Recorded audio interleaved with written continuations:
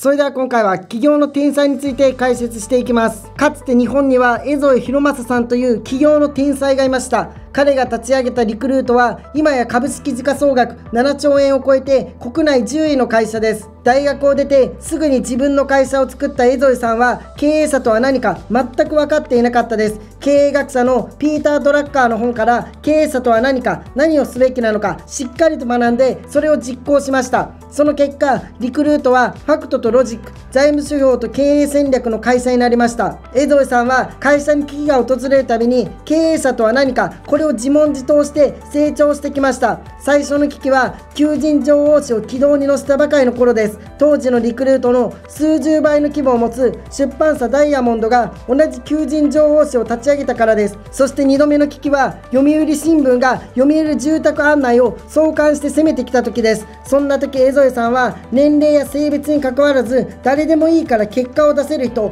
これを採用し続けました。小さな会社のリクルートは結果が出なければ死んでしまうからです。適材適所の人材採用によって数もの前身である週刊住宅情報のラックをコンビニに並べるこういった斬新なアイデアが生まれてリクルーターどんどん大きく飛躍しました。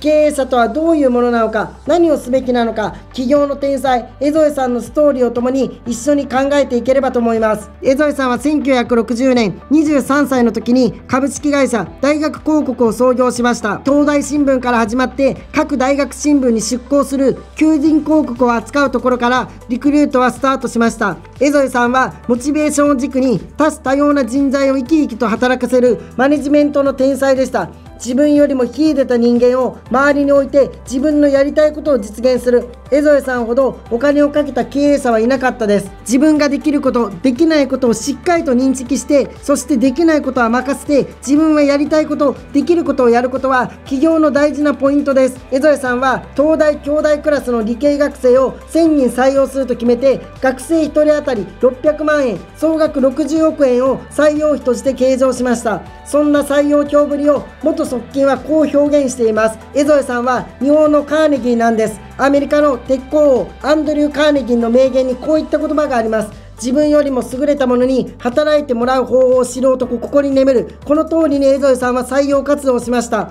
求人は企業で成功するポイントの一つです。特にベンチャー企業っていうのは優秀な人材が集まりづらいです。大企業に行くからです。ではあなただったらどのように採用するのか。これから起業したい方は採用求人を今のうちから考えてみてほしいと思います。リクルートが創業当初に江添さんが考えていたメディアは求人広告だけの本でした。広告だけの本を無料で学生に配って求人広告を出した企業からの広告収入を得るという前代未聞のビジネスモデルでした。江戸さんの情報誌は一言で言えばインターネットのない時代の紙の Google でした。企業とユーザーをダイレクトに結びつけていました。広告を出す企業の目的は何なのか。求人広告であれば仕事を探している人これがターゲットです。テレビや新聞などの大部分の広告は無駄打ちになります。なぜなら働いている人が見てるからです。そこで江添さんは広告だけの本を就活生だけをターゲットにしてそれを配りました。これが企業への招待という広告誌です。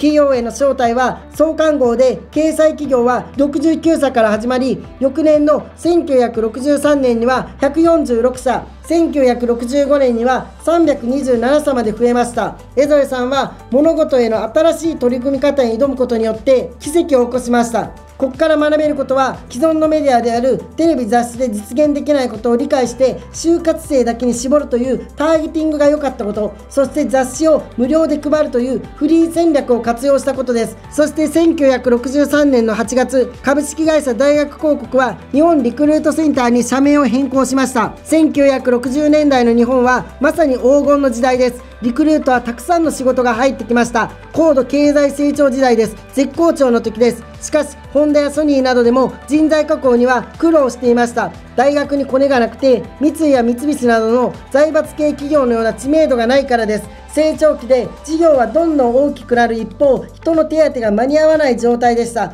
そんな企業の声に応えるため日本リクルートセンターは企業への招待高校版を創刊しました。江添さんは地方に行って全国の高校の先生にホンダやソニーなどの企業を紹介しました。そしてホンダやソニーなどの企業がリクルートの取引先になりました。そして1975年には後のリクナビネクストになる中途採用専門誌就活情報の創刊が始まりました。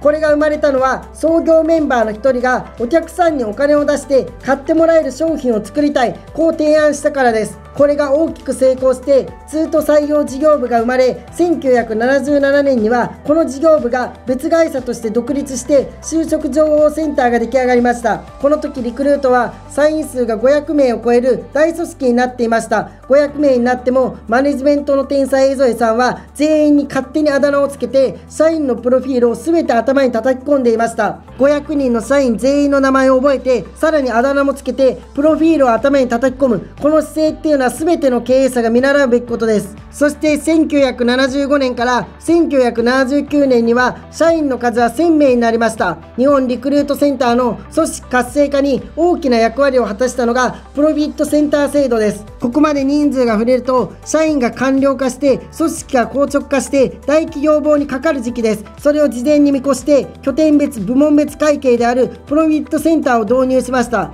最初は札幌や広島などの9単位で始まったものがが平成に入ると1600単位を超えました。リクルートという一つの会社の中に独立採算の小集団が1600社あるってことです。つまりこれは例えると1600人の社長がいて業績に責任を持つことを意味します。江添さんは社員みんな経営者主義と呼んでいました。最後はスーモの前身住宅情報が誕生した話をします。江添さんは家族と神奈川県の逗子に6年間住んでいました。そして都内に引っ越すことを検討していました。不動産屋から閑静な住宅街と聞いて足を運ぶと物件が日当たりの悪い土地だったり道路のついていない土地でした。その時に江添さんはこう思いました。事前に情報を整理してお客様に伝えるべきこう感じました。そこで江添さんは気づきました。求人情報と同じことだ。問題は売り手と買い手の間にある情報の非対称性。どこにどんな物件があるのか。買い手はほとんど情報を持っていないです。そのため判断がつかないです。そうであるならばこの情報の非対称性をなくせばいい。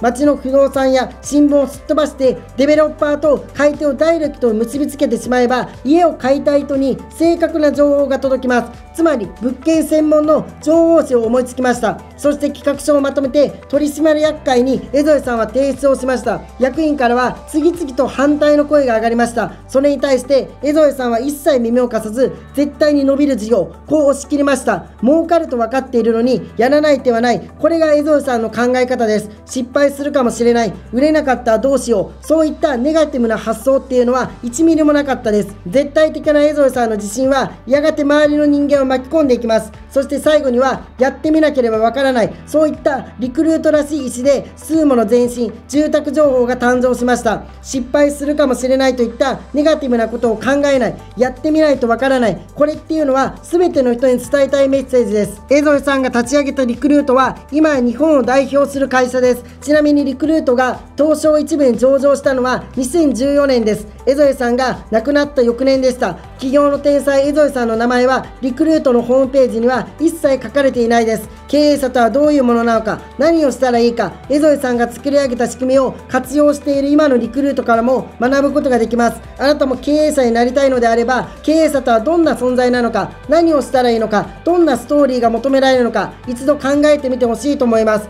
本日もご覧いただきありがとうございます。ぜひ次の動画でお会いしましょう。チャンネル登録評価ボタンクリックいただければ励みになりますのでぜひよろしくお願いします。ご視聴ありがとうございました。たくさん本を出版しておりますのでぜひ Amazon の書籍ページもご覧いただければと思います。また LINE アットではセミナー情報無料で有料動画のプレゼントなどをしておりますのでぜひご登録お願いします。チャンネル登録評価ボタンのクリックをぜひお願いします。